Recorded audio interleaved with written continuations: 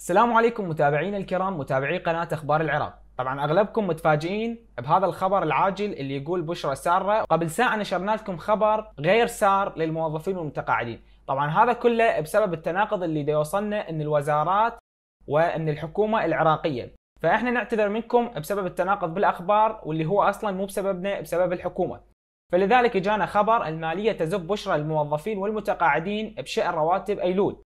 كشف مصدر في وزارة المالية العراقية اليوم السبت عن تأمين رواتب شهر أيلول سبتمبر الجاري بالكامل لدى الوزارة. وقال المصدر أن رواتب الموظفين والمتقاعدين لشهر أيلول هي مؤمنة بالكامل من خلال توفر السيولة المالية. وأضاف المصدر أن التأخر بصرف الرواتب يعود إلى مشاكل فنية بتقنية تحويل الأموال من البنك المركزي إلى حساب الوزارات ومؤسسات ودوائر الدولة بالمصارف. وأشار المصدر إلى أن المصارف راح تبدأ بإطلاق وصرف رواتب الموظفين بنهاية الأسبوع الحالي من خلال إرسال إشعار من المالية إلى المصارف المعنية بإطلاق رواتب الموظفين والمتقاعدين.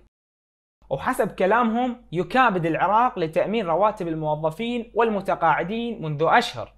جراء تراجع أسعار النفط بالأسواق العالمية بفعل الجائحة. متابعينا الكرام لهنا وصلنا نهاية الفيديو. نتمنى من الجميع الاشتراك بالقناة وتفعيل جرس التنبيهات على الكل. حتى توصلكم أهم الأخبار العاجلة أول بأول. ولا تنسوا تحطون لايك للفيديو حتى الفيديو يصعد. يشوفه أكبر شريحة من الناس ويستفادون منه. واشوفكم بالفيديو الجاي. في أمان الله.